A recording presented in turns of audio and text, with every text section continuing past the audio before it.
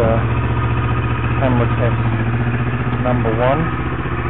Got the camera mounted on the helmet.